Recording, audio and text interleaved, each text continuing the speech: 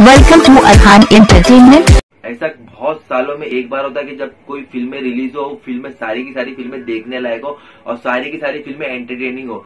बिल्कुल आज वैसा ही कुछ हुआ क्योंकि इतने दिनों से जो हाइप हो रही थी वॉर की सियारा नरसिम्हा रेड्डी की या जोगर की तो तीनों ही तीनों जितना हाइप था, बिल्कुल उसी तरीके की मूवी और तीनों ही तीनों मूवी इस हफ़्ते देखने लायक है। लेकिन इसमें से एक मूवी जो मास्टर पीस अगर उस मूवी को आपने नहीं देखा तो यार लाइफ में कुछ नहीं देखा।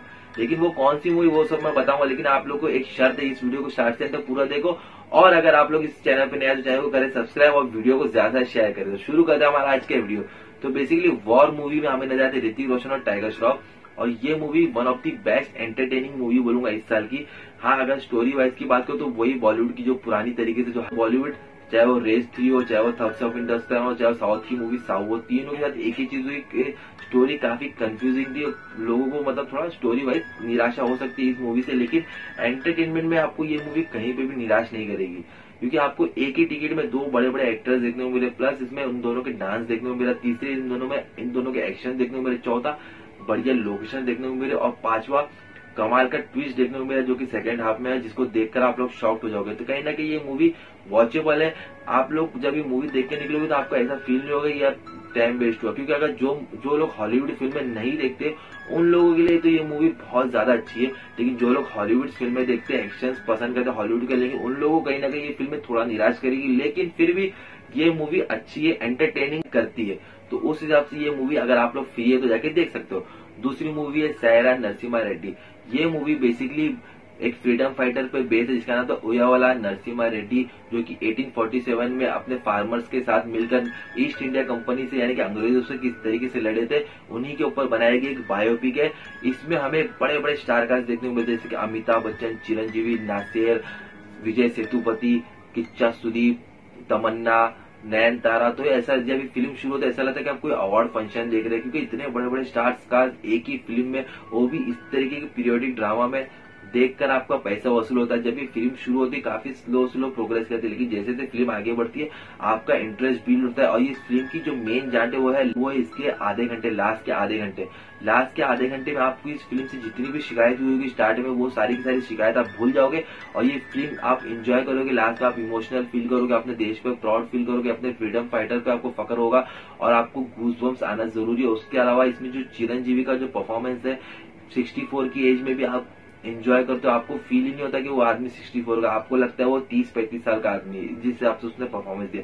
तो ये मूवी भी इस हफ़्ते देख सकते हो आप लोग, अगर आप फ्री है। अगर आप चिरंजीवी के फ़ैन अगर आप प्रियोरिटी ड्रामा फ़िल्म देखना पसंद करते या आप साउथ की फ़िल्में देखना पसंद करते तो ये बिल्कुल आपके लिए फ़र्स्ट हाफ़ आपको बहुत स्लो लगेगी, लेकिन सेकंड हाफ़ में दिल जीत जाएगी ये मूवी हफ़्ते रिलीज़ हुई तीसरी और आखिरी मूवी है जोकर ये मूवी को मैंने सबसे लास्ट में इसके लिए रखा था, क्योंकि ये डिजर्व करती है सबसे ऊपर का स्पॉट लेकिन एज इंडियंस आपको तो पता है कि हमारे जो इंडियंस है, वो लोग इस मूवी को टॉप पर आने नहीं देंगे क्योंकि उनको ऐसा लगता है कि ऋतिक रोशन टाइगर श्रॉफ या चिरंजीवी की मूवी बहुत ज़्यादा अच्छी है, लेकिन परफॉर्मेंस वाइज ये उन सबको पीछे छोड़ती है और ये वन ऑफ़ दी बेस्ट बोलूँगा डिकेट लास्ट दस सालों में बनी हुई बेस्ट मूवी है, क्योंकि परफॉर्मेंस वाइज इसने दिल जीती स्टोरी वाइज अच्छी है उसके जो डायरेक्शन है, बहुत अच्छा कहानी सिंपल सी है कि गौतम सिटी में अर्थर रहता है। अर्थर जो जोकर बन के लोगों को बहुत हंसाता है, लेकिन जब वो स्टैंड अप कॉमेडी करता है, क्योंकि उसका ड्रीम होता है बड़ा स्टैंड अप आर्टिस्ट बनेगा लेकिन जब वो लोगों को स्टैंड अप कॉमेडी करके हंसाता है तो लोग हँसते नहीं है। उल्टा लोग उसको डिमोटिवेट करते हैं, बहुत टॉर्चर करते हैं।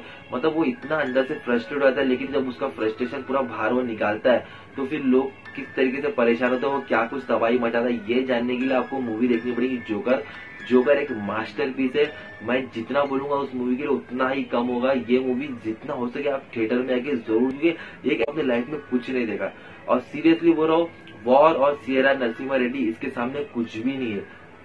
सिर्फ़ जैकवन फिनिक्स के परफॉर्मेंस ने उस जोकर फ़िल्म को ज़िंदा किया, जोगर के कैरेक्टर को जोगर के कैरेक्टर को ज़िंदा किया, क्योंकि हेट लेजर जो डार्क नाइट में जो परफॉर्म किए थे, उसके बाद लोगों को लगता था, उससे बेटर जोगर कोई कर ही नहीं सकता, लेकिन जैकमेन फिनिक्स ने ये प्रूव कर दिखाया कि ये किसी से कम नहीं है और उन्होंने जोगर के कैरेक्टर को ज़िंदा कर दिया। आप इस कैरेक्टर से आपको प्यार होगा, आपको इस कैरेक्टर से नफरत होगी, लेकिन आप इस कैरेक्टर को भूल नहीं पाओगे। इतना तो मैं आपको गारंटी के साथ कह सकता हूँ। और ये तीनों मूवी में से ये एक ऐसी मूवी जो मैं पर्सनली दोबारा देखना चाहूँगा दोबारा क्या दो से तीन बार जाके भी देखूँगा तो मेरे लिए वो कम ही होगा, जितनी मुझे ये फ़िल्म अच्छी लगी। तो यार मेरे हिसाब से ये one of the best masterpiece movie है। तो यार ये मूवी जाके रिक्वेस्ट करता कि आप लोग ज़रूर देखें।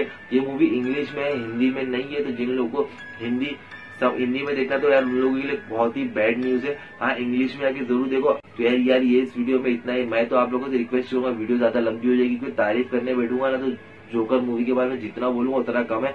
तो बस इस वीडियो में इतना है। अगर आपको तीनों मूवी से कौन सी मूवी जाके देखना है तो तीनों ही जाके देखिए, क्योंकि अभी अपने पास थर्सडे फ्राइडे सैटरडे संडे चार दिन है। तो चार दिन में से आपको तीनों ही मूवी जाके तीनों ही मूवी अपनी जॉनर की अलग अलग हिट मूवी है। और मुझे पर्सनली और मुझे पर्सनली तीनों ही मूवी अच्छी लगी। तो यार, इस वीडियो में इतना ही।